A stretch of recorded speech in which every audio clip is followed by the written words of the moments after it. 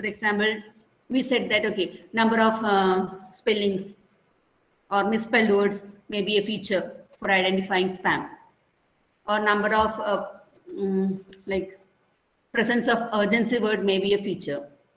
Presence of inappropriate language may be a feature presence of uh, fake names may be a feature so there may be many features and we said that they can be converted into feature vectors and input to a machine learning model but in case of deep learning we said we input the text as it is into the system and we said to do that we first have to convert First, we have to tokenize. We have to split our sentence into different words or tokens. And then each word has to be converted into a vector. So we know how to represent it as one hot encoding, where we have a vector, which is the same size as our dictionary, and each word represents a dimension. So if you want to represent dog, we said we can just make that dog dimension as 1 and all other values as 0. This is one hot representation and we say this is not very helpful because these vectors doesn't have any relation with each other. So dog is again one uh, and separate vector, cat is a separate vector. We cannot find a relation between cat and dog in this vector space. And we said that a better way would be to use distributional word representation. And we also saw an example how to create a distributional vector. And then we, we uh, the third type is neural word embedding. So we said in this neural embeddings, we learn vectors or we learn an embedding matrix using a neural network. Now, and then we discussed about different challenges when we want to go from an individual word into a sentence. We said individual words cannot directly define a sentence. Remember this example when we said that how old are you and how are you are two different sentences with same words but very different meaning. So individual words alone cannot define the semantics of a sentence. So sentence is a group of words. Okay, if you consider it as a bag of, this is what we call as bag of words. If we ignore the order, if we ignore the order and take only the words in a sentence, we call it as bag of words. And you can consider sentence either as a bag of words or as a sequence of words. So today we are going to discuss about sequence model. What do you think would be a problem if I consider sentence as just bag of words? Can someone think of some problem if we say sentence is just a bag of words without any order?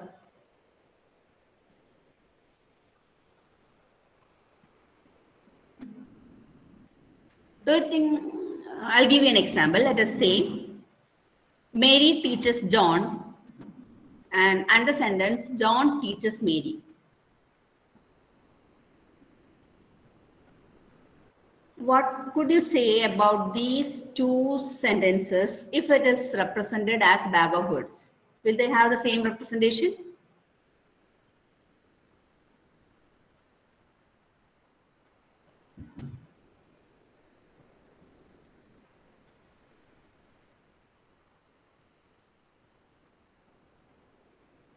Okay, seems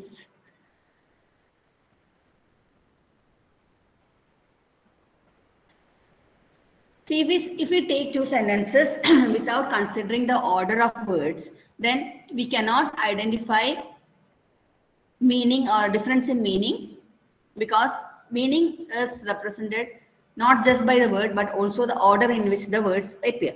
So sentences, we consider it as a sequence of words. And RNN is a deep learning model which is widely used for sequence modeling. So it is not just for NLP in any problem where you can represent the input as a sequence, where you want to model as a sequence. For example, a video. Video is a sequence of frames. Or maybe an audio. Audio is a sequence of speech signals. or maybe some time series data, some continuous readings from a sensor. So all these are sequence of input and these sequences can be effectively modeled using recurrent neural networks. So this is what we call as RNN in short. So most of the figures are taken from a blog and some of them are from my own thesis. So I, I didn't individually acknowledge it. So today's agenda is to introduce you to the concept of recurrent neural networks and an advanced form of RNN, which we call as long short-term memory. So let us take an example, a typical usage of sequence modeling. Suppose you have a sentence, a review, and you want to classify it as positive or negative. An awesome movie for a good Sunday nap, the example which is so exciting. So this is definitely a negative review. This is definitely a negative review. And to classify this as positive or negative, you need to have the entire sentence. You need a representation which captures this entire sentence and using that representation only you can identify whether it is positive or negative. Another example is auto-completion or next word prediction. So I have a sentence like this. I took my cat for a dash. The next word, what would be the next word? Humans very easily can predict the next word as walk. I took my cat for a walk because we know cats are capable of walking and usually people do do this. So I took my cat for a walk. To identify what would be the word at the in this blank, we need to model or we need to know the meaning of the entire sequence that is coming before that. So these are some examples where sequence modeling are used. This, is just, this is just for example. Almost all NLP problems, you could model it as sequence modeling problem like question answering, similarity matching, most of the problems you can model as sequence sequences. Now, if we're using a typical standard artificial neural network or what we call as standard vanilla neural network. Vanilla is the standard thing without any fancy flavors. So let's take this example. So you will have a feed-forward neural network with multiple layers, many layers of neurons stacked upon one another and then you have an input. So here you can see this is a sentence with just seven words. So each word first you have to convert it into a vector that could be a one hot vector or it would be an embedding which you have uh, downloaded from a pre-trained model. So you have word vectors and then you are inputting the word vector into a neural network. So let us say each each word is represented by a hundred dimension vector. So you are here you have seven words that is 700 dimension vectors. You you will be appending all the vectors together. so now you have a 700 dimension vector which is input to a feed forward neural network. So your first layer or the input layer will have 700 neurons and in each layer you will be doing some transformation and final output layer would be an output from a classifier, classifying it as positive or negative. This is how a standard or a very plain simple neural network looks like. Now, what is the problem with this network?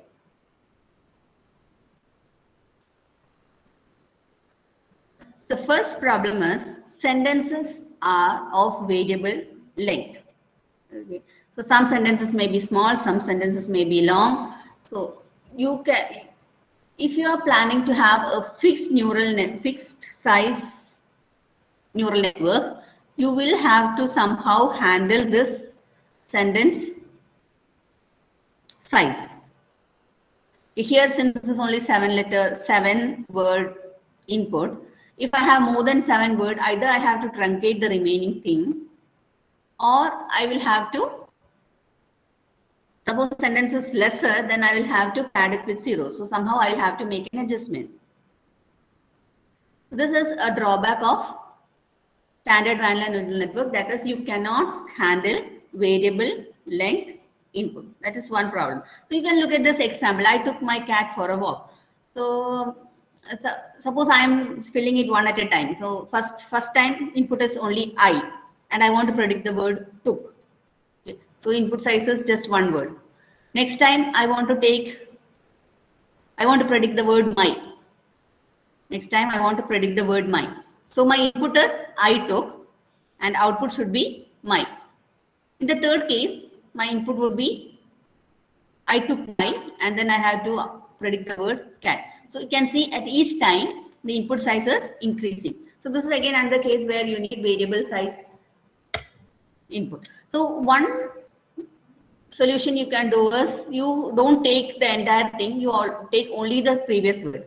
So I is input, output is took. Next time took is input, output is my.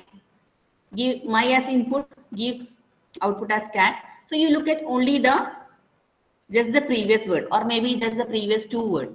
But this is also not a very good solution because sentences can have long distance dependencies. Okay, just by looking at the previous word, if you are making a prediction, most of the time you may get it wrong. So you need to look at into a sufficiently long history. Only then you can do a correct prediction. So this truncating or padding and all may not be a very attractive solution in this case. So this is where uh, the idea of recurrent neural network comes in. so when we are designing a sequence model, we need it to have some property. One is it should represent the sequential order of words, right? We cannot say, okay, instead of having seven words, I will have a vector, neural network which takes just one word as input.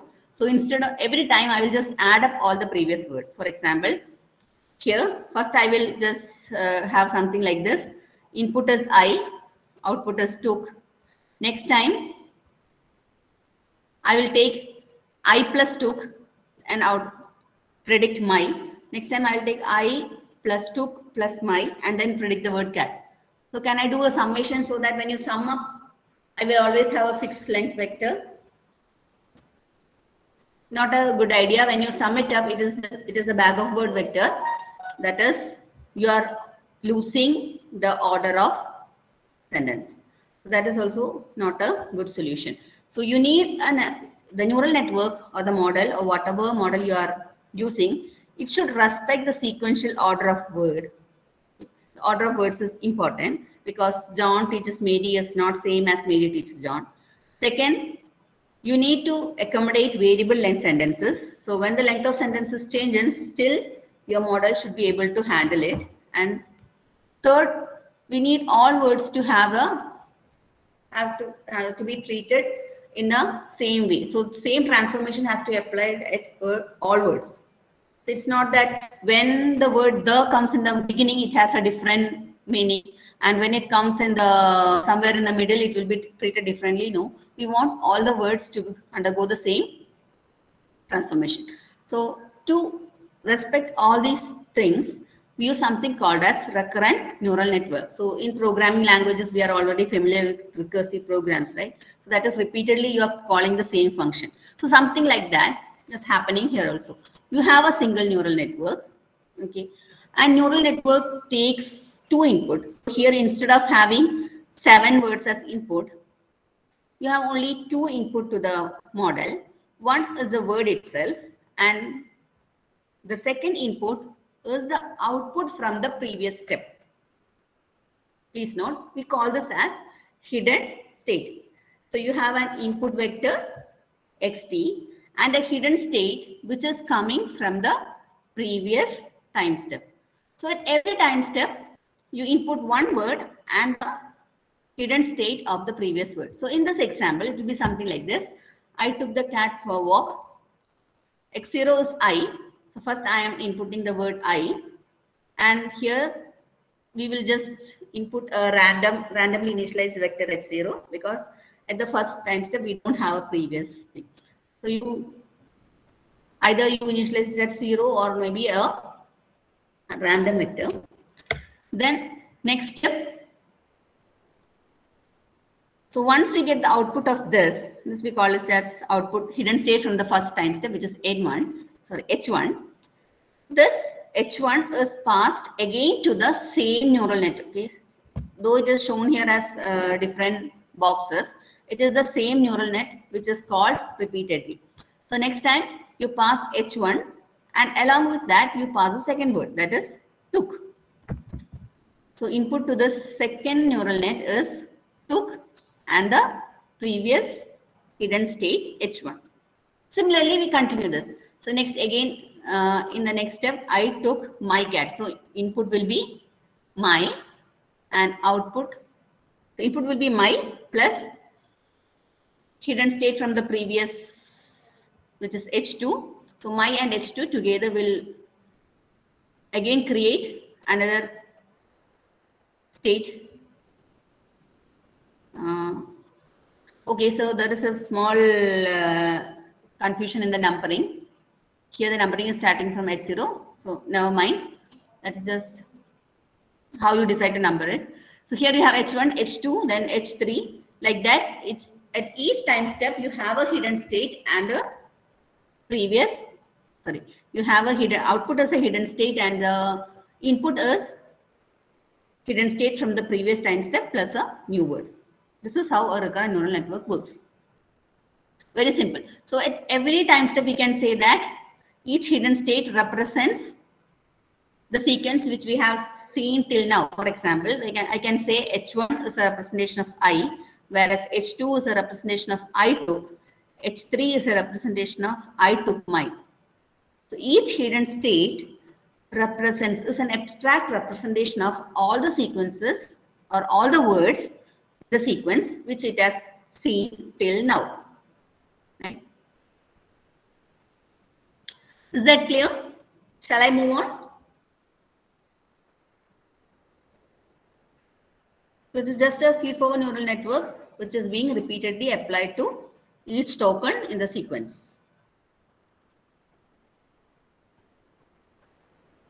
Now, how do you train this? You train this just like you train any other neural net. At the final state, at the final output, you will give, be giving this hidden state into, let us say, HT. You'll be passing this HT into a classifier. Okay.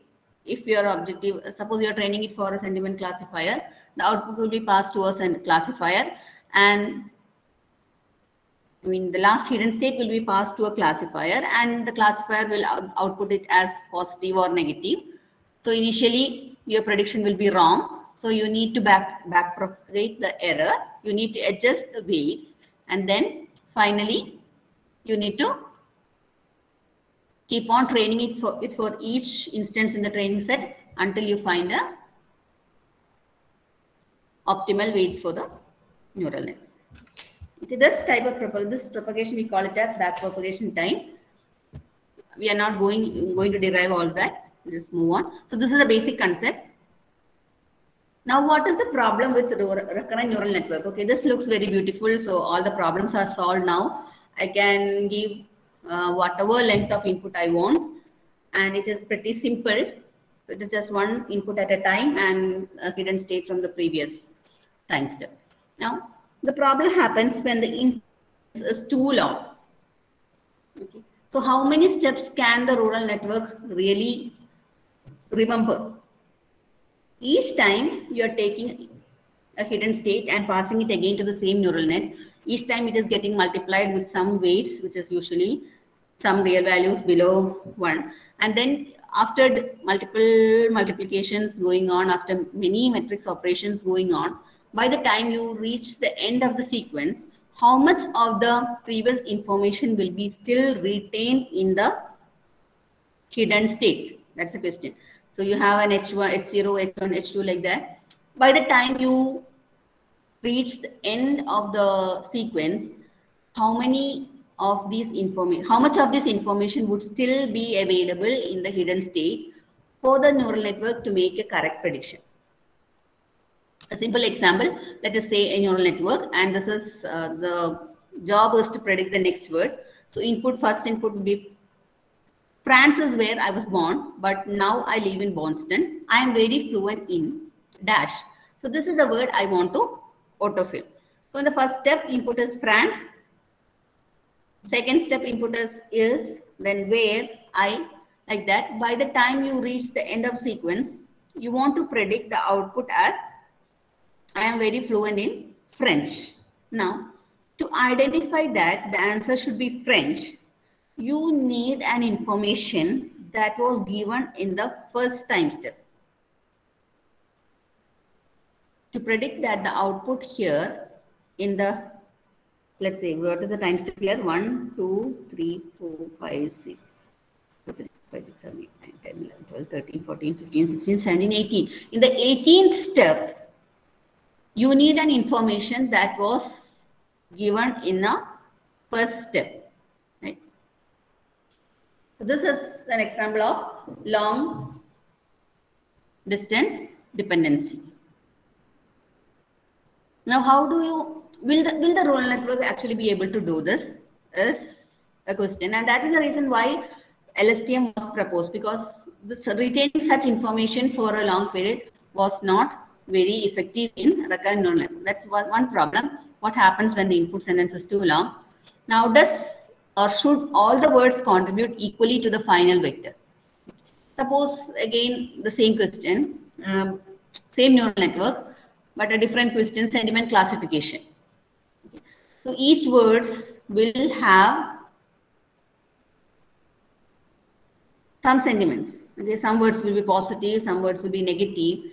But according to the system, you can understand that by the time you reach end of end of the sequence, the final inputs will be having more effect on the or more influence on the output than the previous words. Suppose you have a word great in the first as a first word in the first time step you have an input called the input word great whereas you have a pathetic word pathetic at the end. So there is a possibility that the output will be more dependent on pathetic rather than on the great on the word great because pathetic is towards the end.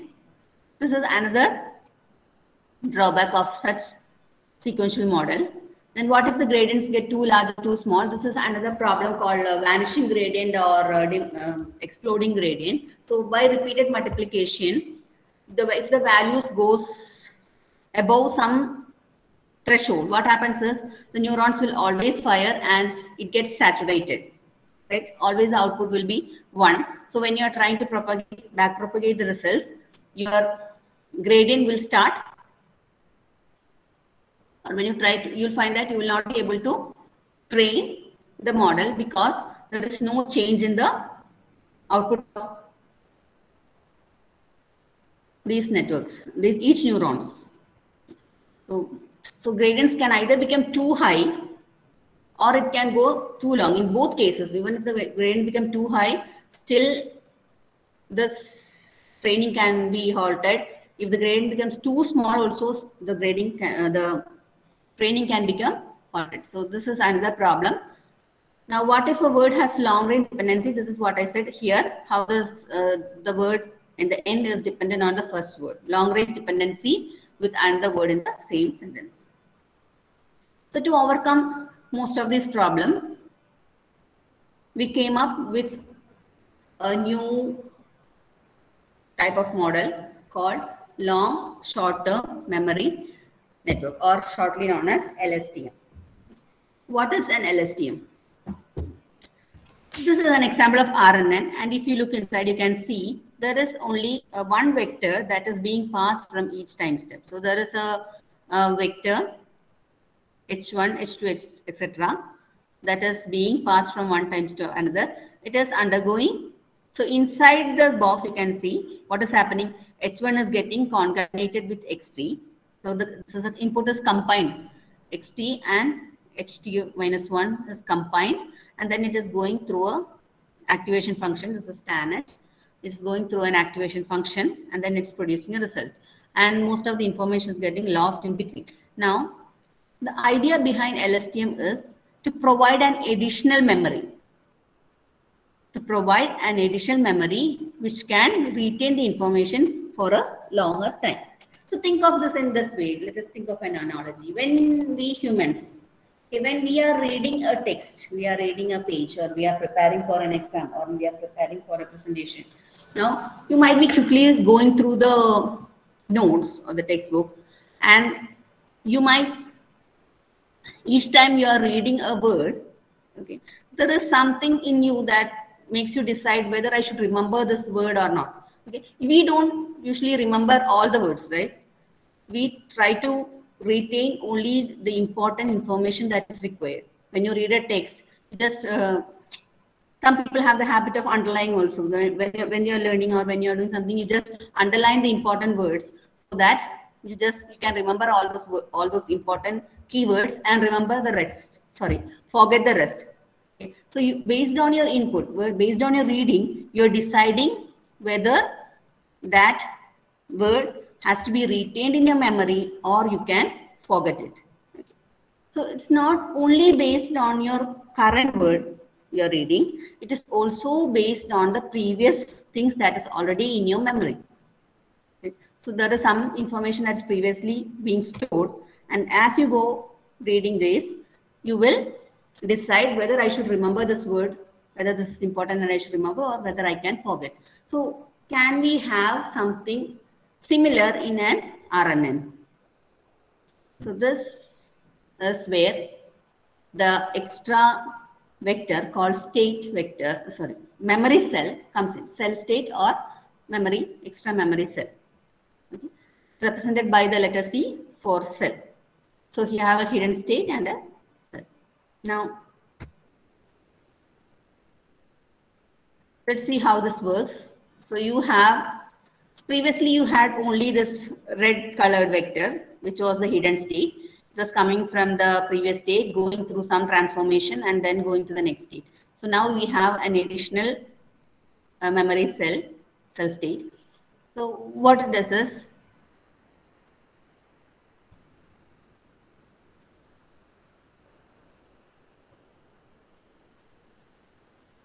it uses concepts called gate.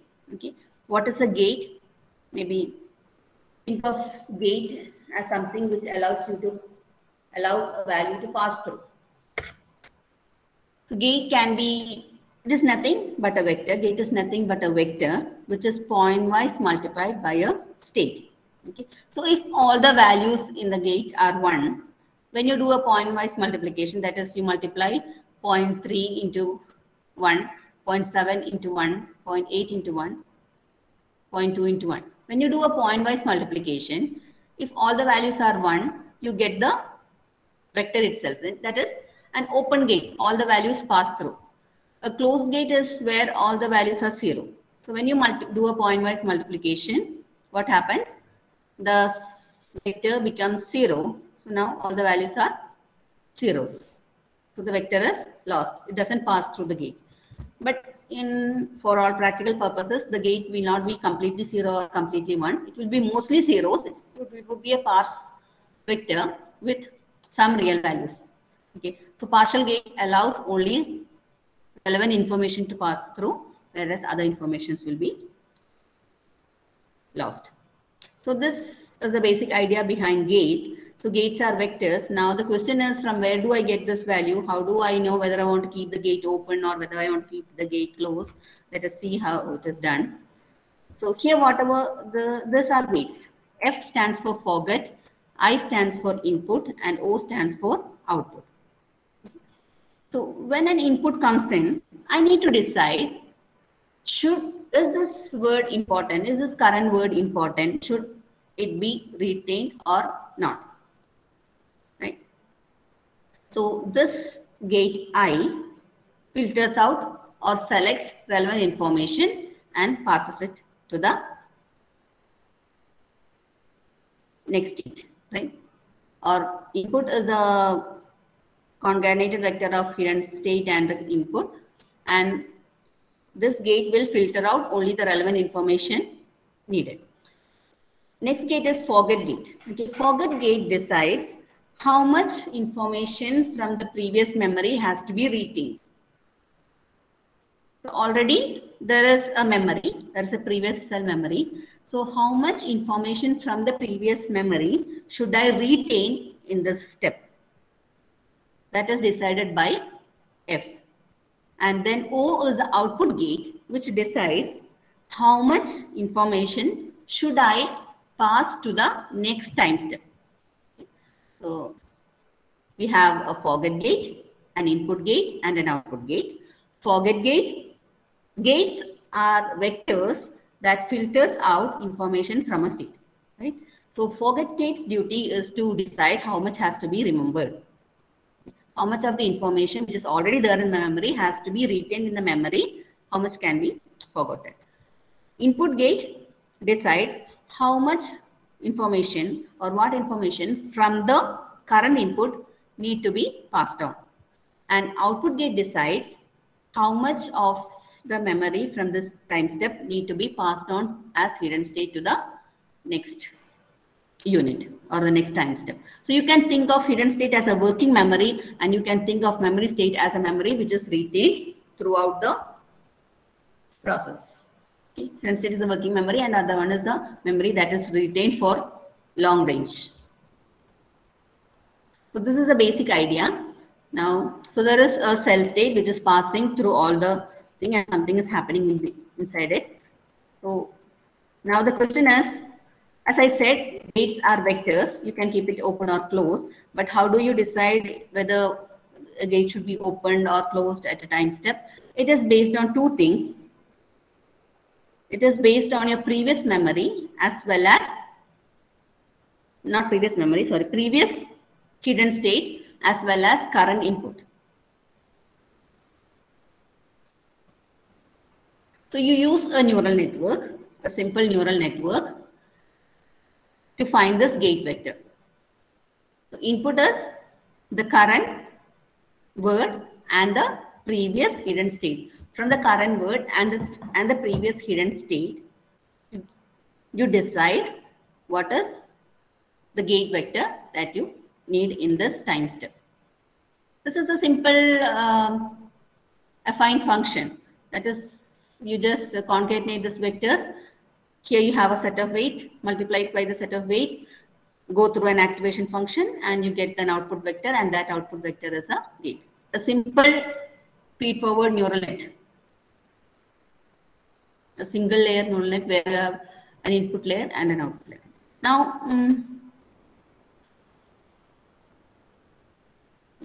so RNN select just relevant information and forget the rest and what uh, that is the basic idea you use a neural net to learn the value of gate and then use this gate to decide how much information has to be passed on. This is an LSTM architecture as you can see here. Don't be confused, don't be worried about all these fancy boxes and circles. At First time when you see it, you may feel that it is somewhat confusing, but actually it's very simple. So each gate has only two things. One is it has a activation function and then uh, this cross is pointwise multiplication. So you have a neural net, it goes through an activation function and that output vector is multiplied by some state vector. So here you can see input, maybe individually we can see. Yeah. Forget gate. Input to the forget gate is hidden state plus current, current word. Concatenate these two vectors join them, give it to a neural network. Neural network gives you the forget gate, forget gate, or the vector, or the gate vector. Now you got that. You need to multiply it with previous state, right? Forget gate is to decide how much from the previous memory has to be forgotten. So you multiply it with CT minus 1. T, T is the cell memory that you have. Multiply it with the cell state and you get the output. Next, input. Again, input, look at, look at, look at this input gate.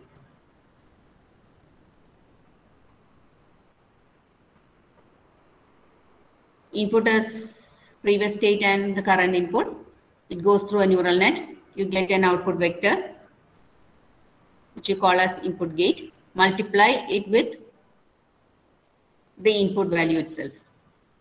The input gate is deciding how much of the input has to be given in. So you multiply it with the input itself and then you get the result. So after that, in the next state, here you can see you have to output two values. One is the hidden state and the memory cell. So here, as you can see, the next memory cell, the value that is retained in the memory, it is sum of output from the forget part and out uh, that is it is a summation of the memory that is retained by the forget gate plus the value that comes from the input gate. Okay. So input value, some information is filtered out by the gate and the remaining is there. Here again, some information has been filtered out from the memory and the remaining is here. And these two together forms the next cell memory.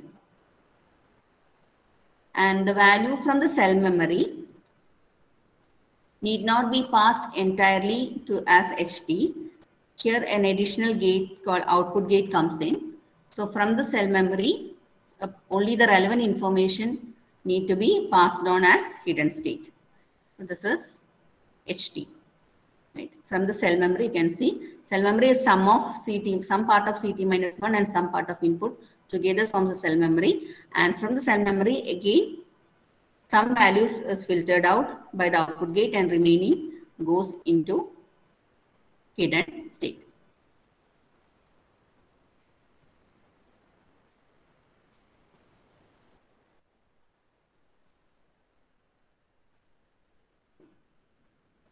I think this figure will be a bit more easier to understand. You can think about think of this as a pipe, and you can think of this as some uh, like like think of it as a water pipe or something where water is flowing through these pipes, and you are adjusting these pipes to decide how much of the water should go on. Can think of this the blue memory, which is a memory retained for long range, and then you have a red memory, which is for uh, working memory, and how much of the uh, some information from the cell memory is adjusted using forget gate and pass, it is passed on.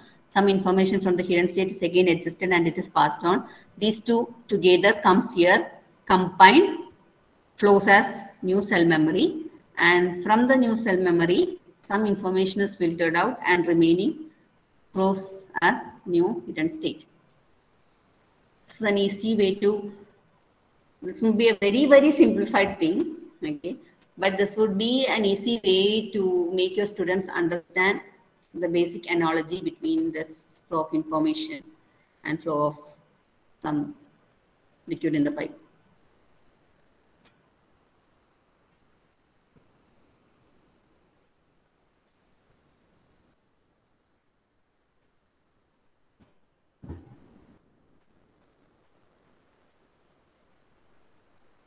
So in the, in the next session, you'll be having a practical session, I think, and Manu will be showing you how to use uh, an LSTM for text classification.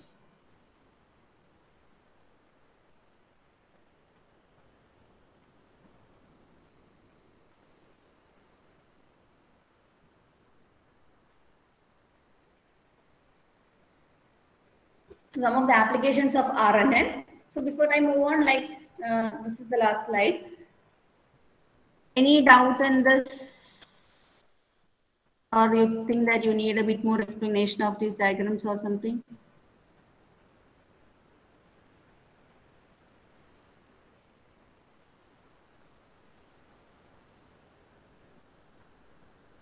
See, RNN has a wide application in NLP. So it can be used for, as I said, one example is uh, sentiment classification. So here, each of these blue boxes are an LSTM and the input x1, x2, x3 at every time step you are giving an, a single word as input and at the last step you get the output that is as positive or negative. So in other applications you can use it in NER or POS tagger. NER is named entity recognition that is at every time step, you have an output also. That is, for example, you need um, you need to identify whether each word is uh, named entity or not. So if I if I'm giving this sentence, I was born in France. So I, I was and all are not NERs, but when you go to France, you want to give France as a named entity. So each time when you give the first input, it will give zero. It's not an NER. Second input, it's an NER. Third input, it's not an NER like that. At every time step, you can have an output or you can have an output at, at the last step. And then there is something called encoder decoder model, which we'll be seeing. I think it is scheduled for Thursday or Friday. More applications of RNN and LSTM you will be seeing.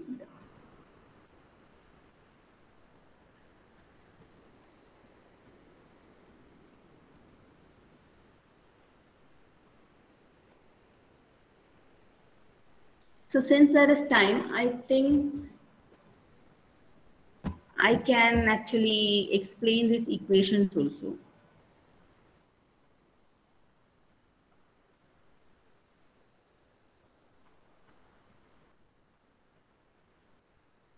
So WF is the weight matrix for this neural network.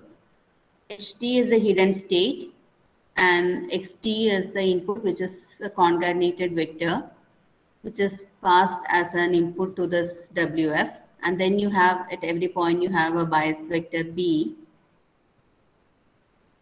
And the output from this, so it will be something like WF1 into HT1 plus WF2 into HT2 like that. And then it will be summed up and given as an input to a sigmoid function. And based on this input, you get a Fogel. Similarly, in the input here you can see first HT minus 1 and XT goes through a neural net WC. Okay, its activation function is tan WC. So how many, can someone answer how many weight metrics will we have in each neural net?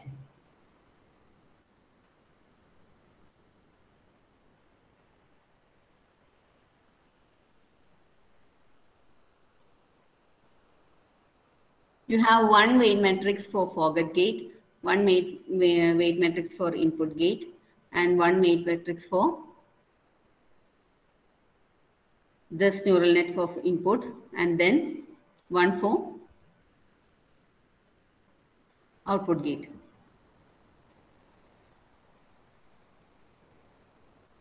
W, WO, WC, WI, and WH are the set of weight matrix for a one LSTM unit. And since this LSTM unit is the same set of weight is shared in every time step, no matter how, how much uh, length your input is, it's always, now the size of this will be always fixed.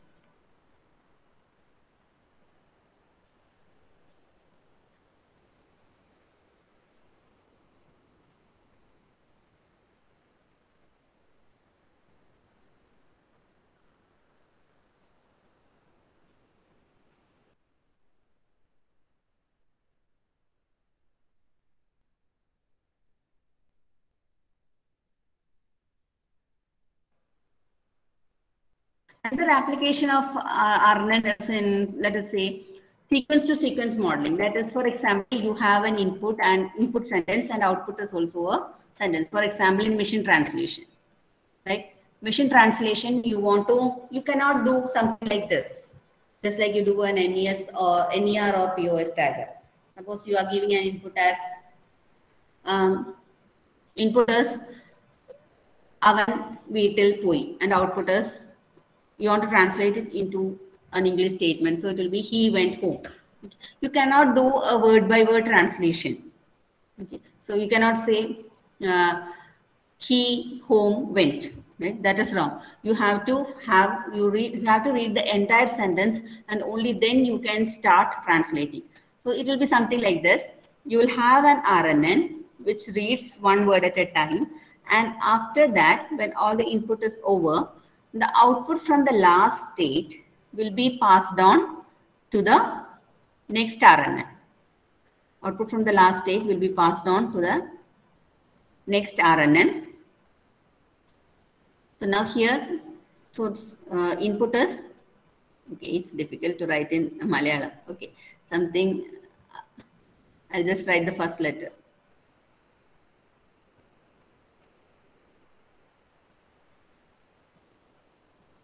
Right, so output will be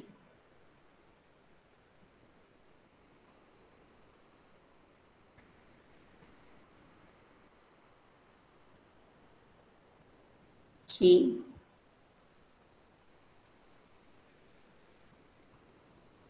went home. This is an example of, maybe I already have a figure. I'll show you. This is an example of encoder decoder model, or you can call it as seek to seek model or sequence to sequence model. So input is a sequence and output is a sequence. See, unlike a POS tagger or NAS tagger, you are not getting out at every time step. First, the entire sequence is read, and then you have an output vector, which is a representation of that entire sequence. Now, this vector is given as input to the next RNN, and here at each time step, you will have something like this.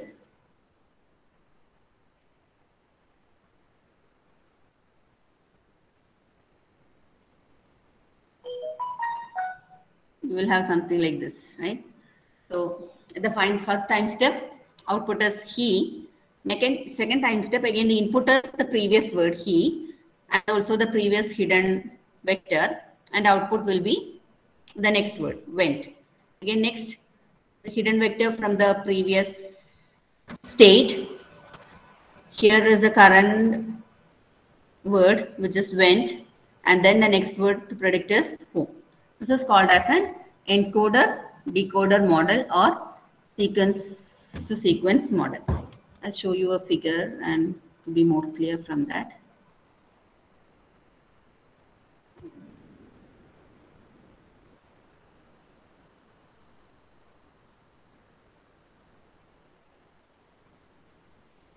This is an ex example of encoder decoder model or seek to seek model. So one problem, this is typically used in machine translation, in question answering, such, such cases where input is a sequence and then output is also a sequence. One main problem with this encoder decoder model is that all the information from the first sentence need to be contained in this output vector and the entire sequence output sequence has to be generated using this single vector so the question is, how much information can you squeeze into a single context vector? So this is output is just an S. So entire sentence is being represented by a single vector.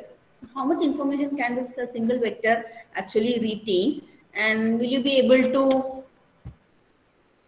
generate or recreate the entire output from the single sector? This is called, uh, this is the bottleneck problem or the info, in encoder decoder models. And to overcome this an idea called attention mechanism was introduced. Okay so attention mechanism now you see this word very often when you're talking about transformers. But attention mechanism was first introduced in lstm to overcome this bottleneck problem. So attention mechanism you can relate it to something like this when you're reading a text right you pay attention to certain words, right? You know that you need to pay attention, uh, more attention to some words and less attention to some words. Okay, so this is represent this idea is represented using attention scores in LSTM. So here LSTM you can see there is uh, multiple hidden states. So here you can see one, two, three, four. There are four hidden states, right? But we are looking at only the last state S. Instead, we need information from all the previous states. We need information from all the previous states. Suppose in this previous example, when I said uh,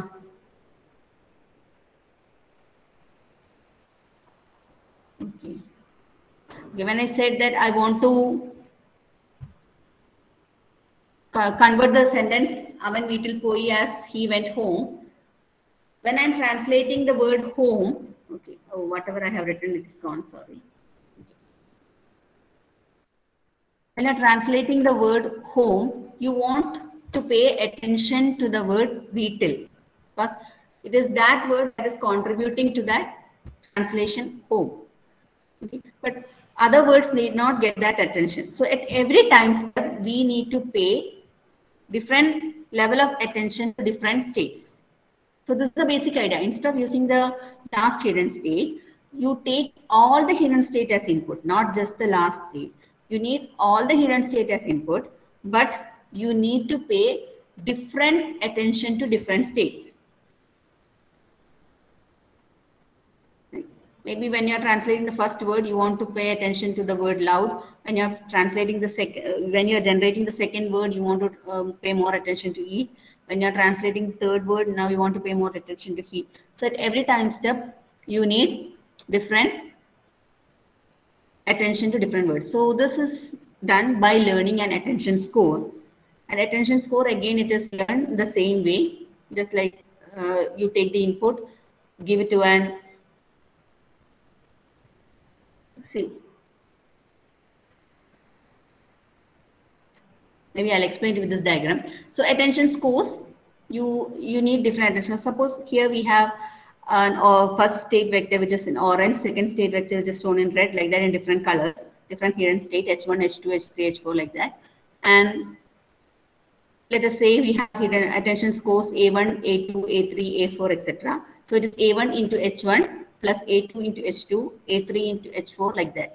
Okay? So this scores is represented by an attention vector each time at every time step you multiply the hidden state with the attention score and sum it up. And this attention vector is passed to the decoder along with the final state. Every time you are passing this attention vector to the decoder. Every uh, every time you need to learn a attention way. So this is again adjusted during training the attention scores there is no magic to find out this attention scores. You don't know what would be the attention scores before you start uh, uh, like predicting. So at every step you will be adjusting this during training and finally you come up with the best set of scores which you can use. I think so actually i was not planning to take this attention mechanism today since we had time I just pitched in.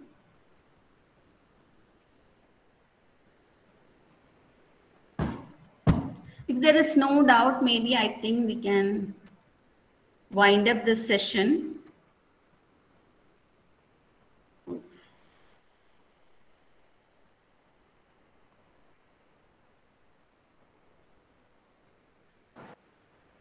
Participants, uh, anyone have any doubt, please ask.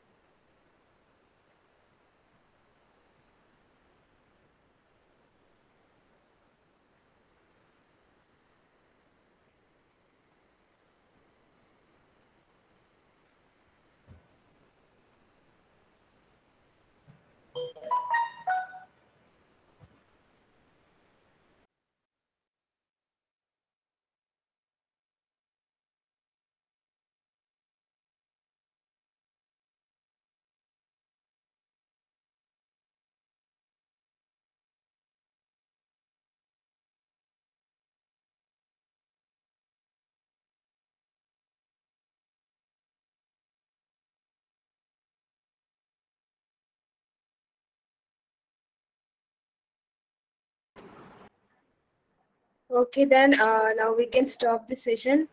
Thank you so much, Leela ma'am, for such an enlightening session. And it was such an informative and effective session for all of us. You have explained everything from the start and from the base. And it was such an effective session for all of us, especially for those who are interested in this area for work with. Thank you so much, ma'am. Thank you, Namita.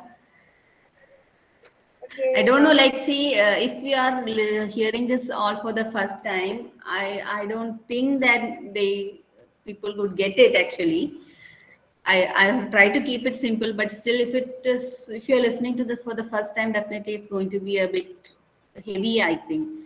LSTM and all when you're learning for first time. At least I hope they get a small idea what LSTM is that when they read further, they will be able to understand it better. That is the only thing we can hope. We didn't go into any of the mathematical part actually. We just kept it very simple. Okay, sure, definitely.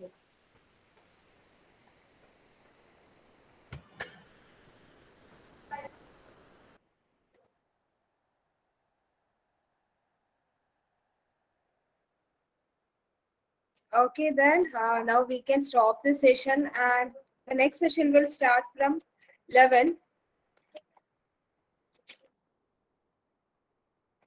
Next, next session will start from 11 a.m. and is about text classification. Okay, thank you. Okay, thank you.